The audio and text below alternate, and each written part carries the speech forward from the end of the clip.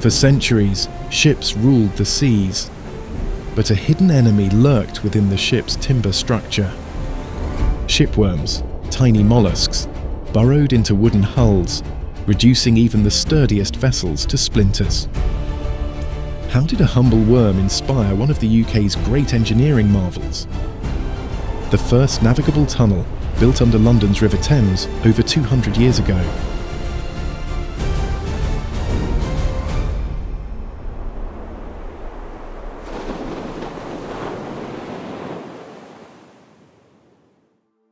Isambard Kingdom Brunel is arguably one of the UK's greatest engineers, known for his ships, tunnels, bridges, and railway lines.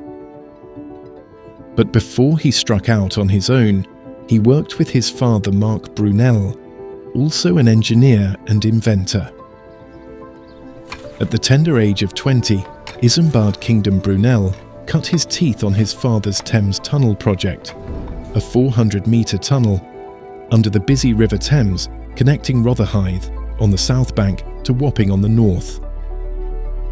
An ambitious undertaking that not only marked the first time a tunnel would be built under a navigable river, but pioneered a method of tunnelling still used to this day. Inspiration for how to dig the tunnel came from a comparatively tiny creature, the Teredo navalis, a wood burrowing worm. Marc Brunel who often did engineering work in dockyards, saw the worm's work firsthand. With a hard shell protecting its head, the worm could eat through ship timbers, all while reinforcing its tunnel as it moved along. Could he supersize the worm's method? Could he invent a structure that would support the soft earth while tunneling to prevent collapse? In 1818, Marc Brunel patented his tunnelling shield design. At a whopping 12 metres wide by 7 metres high, the final version of this iron structure consisted of three levels and 12 cells across.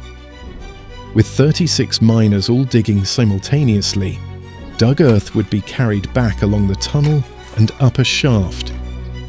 In 1825, work on the tunnel finally began. The first step was to build a caisson shaft, a watertight cylindrical structure that would be sunk into the ground at Rotherhithe. Measuring 15 metres by 15 metres, which at the time was the largest caisson ever built, this shaft would provide access for tunnelling operations.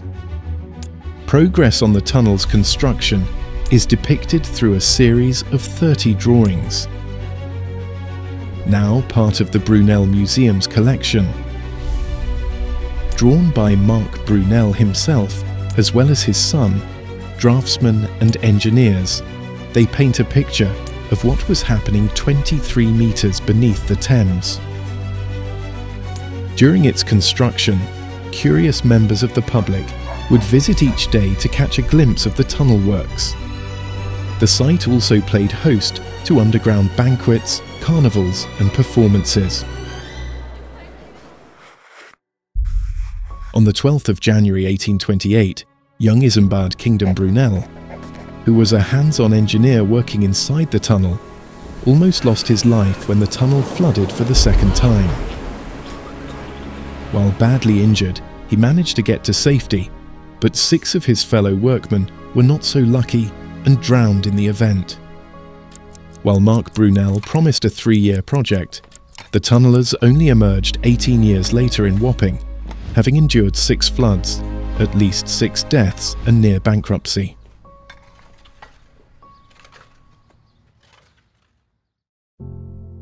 When the Thames Tunnel officially opened in 1843, the tunnel shaft now converted into a grand entrance hall attracted a million visitors in the first three months.